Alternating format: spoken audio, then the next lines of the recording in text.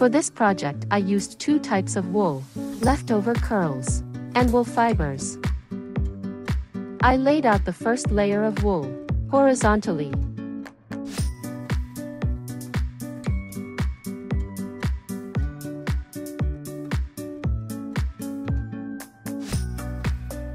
And the second layer of wool I laid out perpendicular to the first.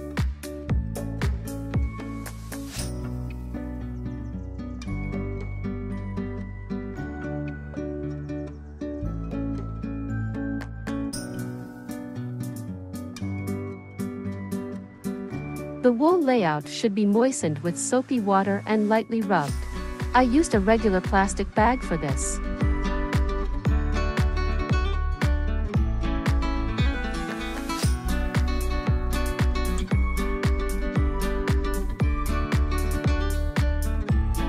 Now it's time for the decor. It will be some landscape. I laid out the decor of white curls.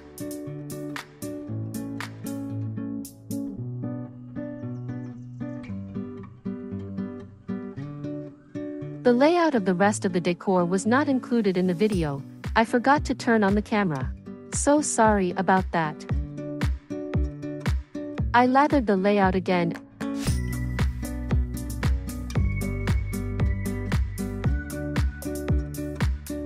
and rubbed it through the mesh. I didn't find plastic gloves and used a plastic bag instead for better gliding.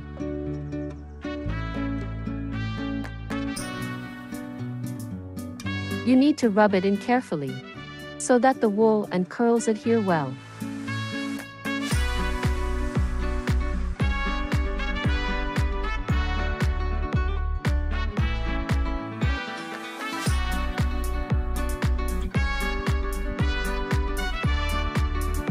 I was shaking the layout in the bubble wrap in different directions.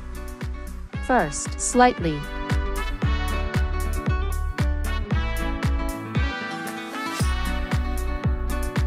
Then, more intensively. I use this felting method instead of rolling in a roll.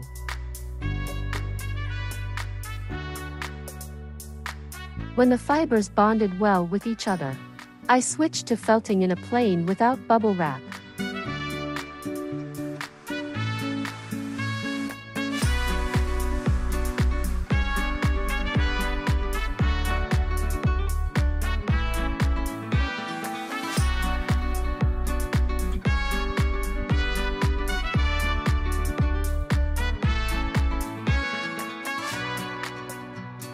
Then I rinsed my product in warm water. Lathered again. And continued my felting.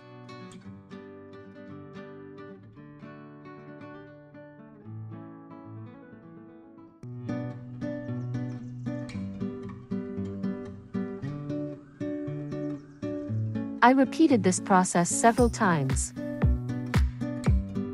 I rinsed it in water squeezed it into a ball, several times, lathered again, and felt it on the plane.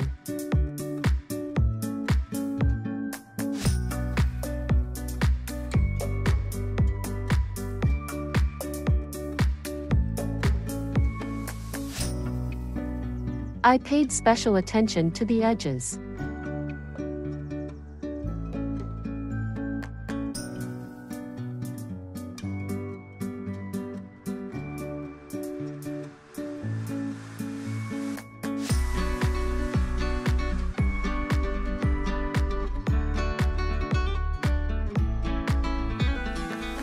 I knead the pillowcase like dough to shrink it to the right size. Throw it on the table. At the last stage, I need to work a little more to make it to the right size. I rolled the pillowcase up and felted it for a while.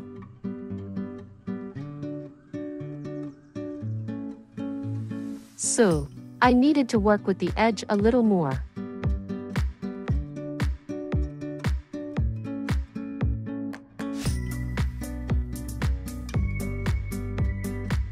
After rinsing, I wring out the product in a towel.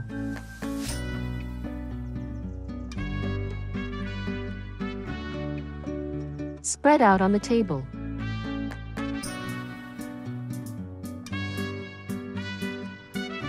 And immediately steam it with a hot iron.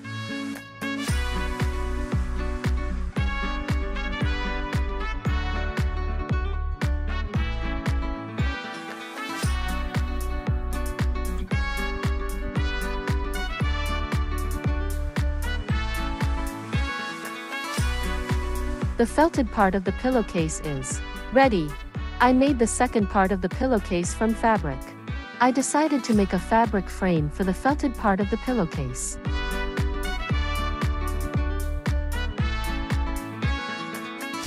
I cut four strips of fabric, 7 centimeters wide, and sewed them at a 45 degree angle.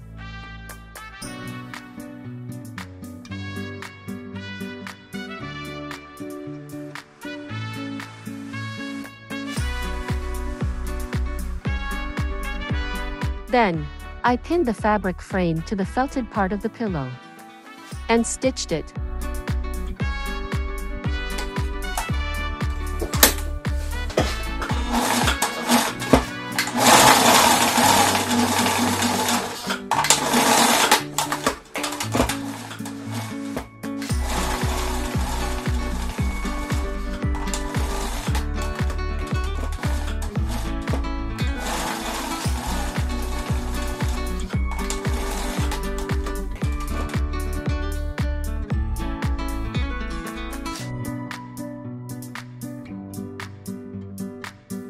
I cut the other side of the pillowcase into two parts to sew in the zipper. So, the pillowcase can be easily removed and washed. First, I sewed one side of the zipper.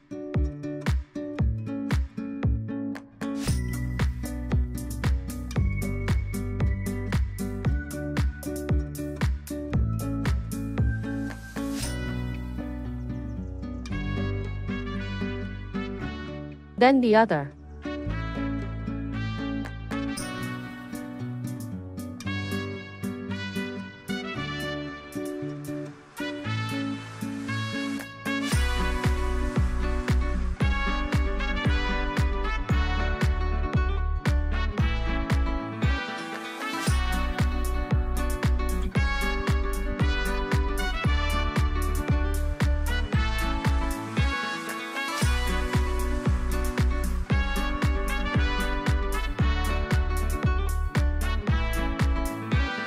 I pinned both parts of the pillowcase with pins and sewed them together, remembering to open the zipper before.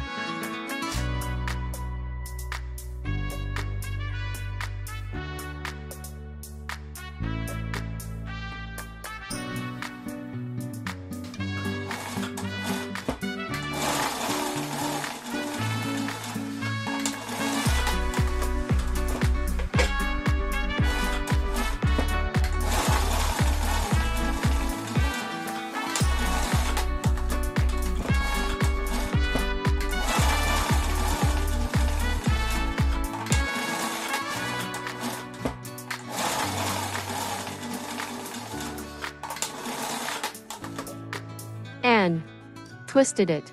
My pillowcase is complete. This is what the finished pillow looks like.